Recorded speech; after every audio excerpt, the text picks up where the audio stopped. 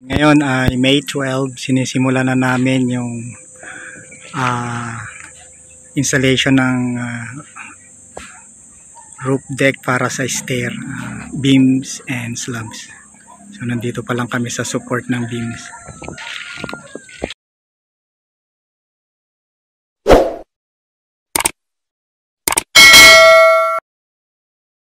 Ngayon ay May 12, sinisimula na namin yung ah, installation ng ah, roof deck para sa stair, ah, beams and slabs.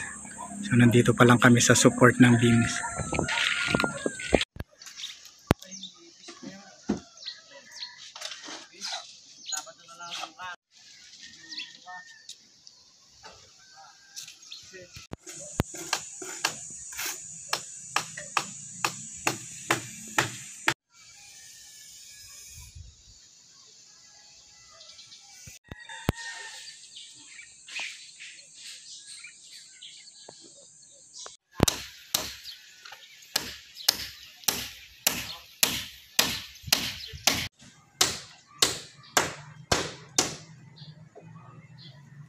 Yan, ngayon ay May 13. Yan, naiset na namin yung bottom form ng beams.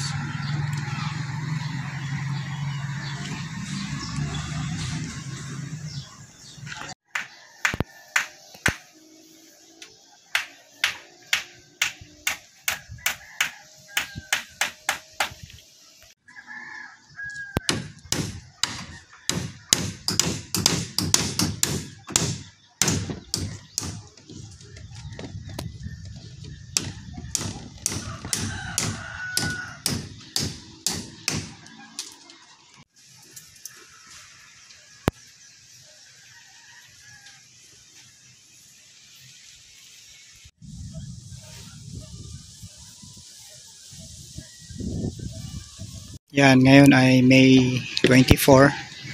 Tapos na yung ah, slab form para sa stair deck. So mag-install na kami ng rebars. Yan, nagsimula.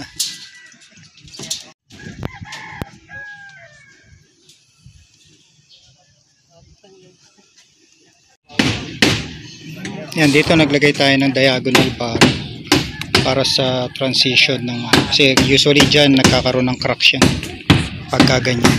Dahil sa ano cut yan so yung stress development dyan magkakaroon ng sudden uh, changes. So naglagay tayo ng extra bar na pa-diagonal. Tapos ito mapapansin nyo yung reinforcement niya uh, single reinforce or singly reinforce. Kasi ang ruling sa design niyan yung uh, longest distance yun. Long span kung tawagin nila tsaka short span. Pag yung long span dinivide mo ng short span at equal to 2 or greater than 2 ang reinforcement mo dapat isa lang. Ngayon kung less than sa 2 yun. Yun yung magdodoble reinforce ka. Meron kang top bars So yun ang ruling sa design. Yan ngayon ay May 25. Tapos na yung sa rebars, formworks at saka yung sa electrical. So ready for concreting sa Friday.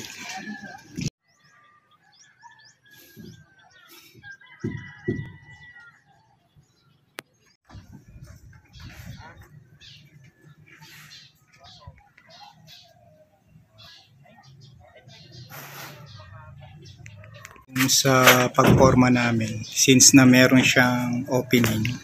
So ginawa namin pa ganyan yan. Nakapatong doon tapos nakadiagonal. Ganun din dun sa kabila. Tapos tinay up natin siya. Yan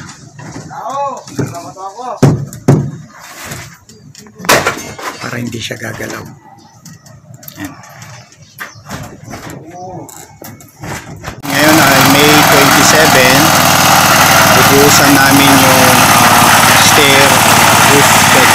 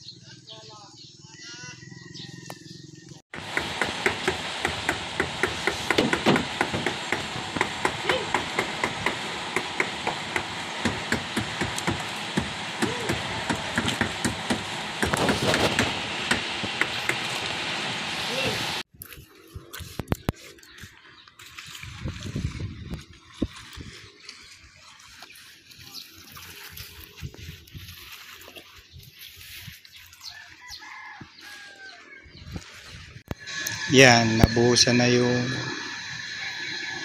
stair deck.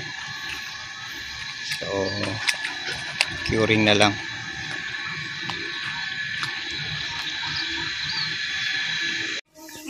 Kuno ko ng hindi pwede yung picture kasi ang layo. Yan, sila yung nakasama kong magbuhos, yung topping out. Yan, ngayon ay May 27. Sinisimulan na namin yung scaffolding para sa stair ng second floor to roof deck. Yan. So, yan. Ang magiging soleras nito ay papunta rito. Ayon para sa slab nung ano stair, ah, madali siyang iset.